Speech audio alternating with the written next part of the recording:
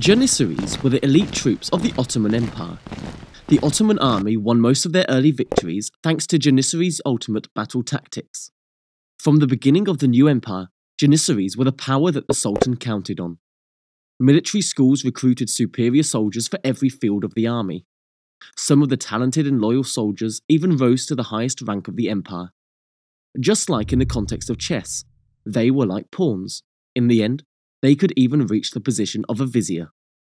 This is the story of one. The story of Mehmed began tragically, or should I say the name his father gave him, Fatjon. His father was a local fisherman in Himarë, a coastal town in Albania.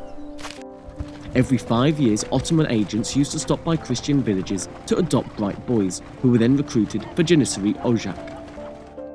Fatjon was nine years old when the agents came to his village. Fatjon was the second youngest boy of the family. His little brother was the most upset, left at home after the separation. The agents were ordered to adopt only one child out of at least 40 houses. Therefore, he didn't have any friends from his neighbourhoods. He was alone. He wept all the way to Selanik. Then they took him to Constantinople via ships. However, the road didn't end there. The Christian boys from different villages of Balkans were given to new families. Fatjon was supposed to be given to a Muslim family without a child. So Fatjon went to Turkadag, to an agrarian foster family. They treated him well and taught him Islam as well as Turkish language. When he returned to Constantinople, he was a fluent Turkish speaker and he learned the traditions. In time, he grew older and stronger. The military school of Janissaries was extremely difficult for the developing boys. They were categorized by their skills, such as archery, artillery, navy, engineering, art, music, and so forth. Fatjon performed well in artillery. He went through eight years of artillery education as a cadet. At 25, he became a Janissary in the reign of Sultan Selim. Sultan Selim, who started an eight year long war against East, conquered the most land out of all the sultans in history Fatjon, under the command of Sultan Selim, fought against the Safavids in Persia. Artillery was then a new technology, which the Ottomans were superior in. Artillery played a very strategic role in the Battle of Chaldiran. Thus, Fatjon was quickly distinguished in his Orta battalion. He was assigned as Yeniseri Agassi, the general of Janissaries. He led the Janissaries against the Mamluks in what is now modern Syria and Egypt. After the Ottoman army under the command of Sultan Selim destroyed the kingdom of Mamluks, they returned to Constantinople. Fatjon had eight years of battle experience.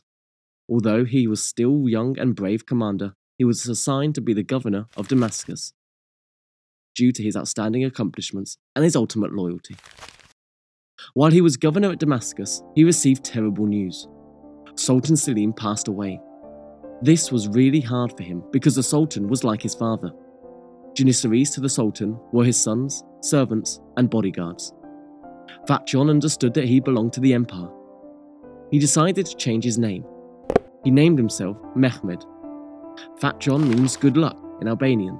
Indeed, he felt lucky to be a member of the Ottoman army. Fatjon's next place of duty was in Rumelia. After 30 years, he returned to his hometown. Now he was the governor of his people Within a short time, he was summoned back to Constantinople as the third vizier. As he rose in rank, his predecessor Ibrahim Pasha was executed, so he succeeded him as the Grand Vizier of the Ottoman Empire. For two years, he was the second most important man in the empire. Just when he was at the top of his field, plague took his life. When he died, he had over 20 children. He also had a mosque built in Turkidag, where he assumed as his hometown. Viziers from a Janissary background continued to play important roles for the destiny of the Ottoman Empire until the early 19th century.